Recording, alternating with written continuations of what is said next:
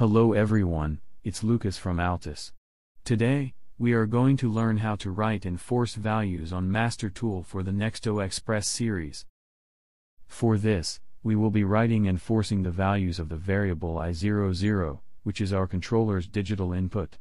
We start assuming our project is in simulation mode and with the CPU turned on, check lesson 5 if you encounter difficulties. We can access variable i00 through GVL integrated I.O. Double-click on integrated I.O. Now let's expand this field called digital inputs. Click on the plus symbol next to digital inputs. Finally, we have access to variable i00. We can see that it is already activated.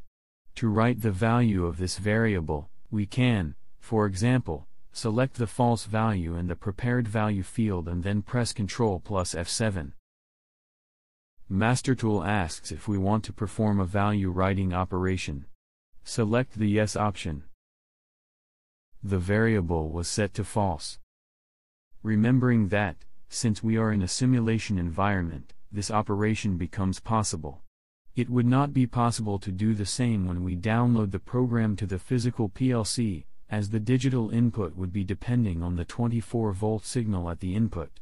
But, what we could do, both in simulation mode and in mode with the physical PLC, would be, instead of writing a value, force this value regardless of whether 24 volts is arriving at the input of the physical PLC. To do this forcing, we must load a prepared value. So, select the true value in the prepared value field, and, Instead of pressing Ctrl plus F7, just press F7. MasterTool will ask if we want to perform a force values operation. Select the Yes option. We can see that MasterTool returns this value with a red F symbol on the left, it means that the value is forced. The difference between writing values and forcing values is that, when performing a value writing operation, some event in the logic may update the value of that variable, but, if a variable is forced, no event will be able to change that variable value. To change the value of a forced variable again, it is necessary for the user to perform an operation to unforce this value.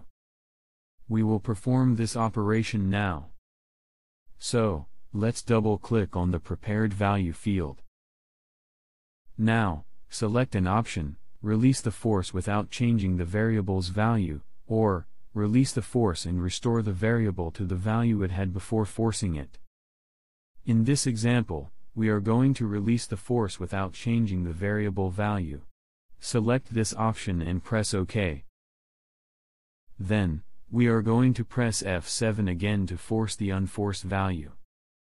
Select the Yes option and the value is now unforced. So, this was our sixth lesson for Nexto Xpress series. Don't forget to follow Altus channels on Facebook and YouTube. Thanks everyone, see you next time.